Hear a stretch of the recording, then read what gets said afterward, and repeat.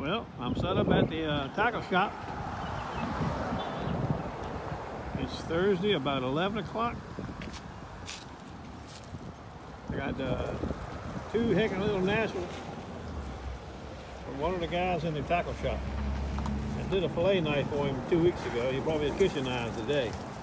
That may be the only customers I have. Terrible looking clouds, but there's only a scattered chance of rain. It just says cloudy all day. I hope that's the case.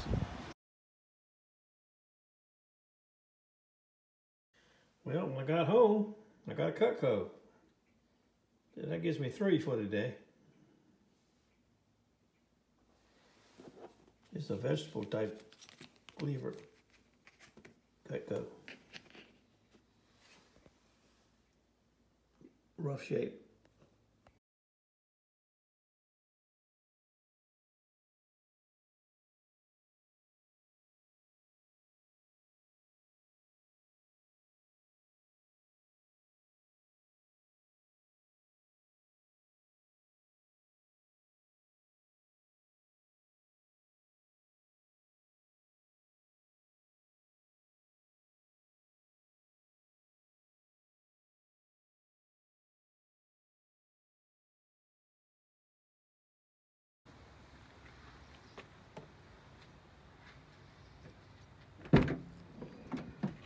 Voila!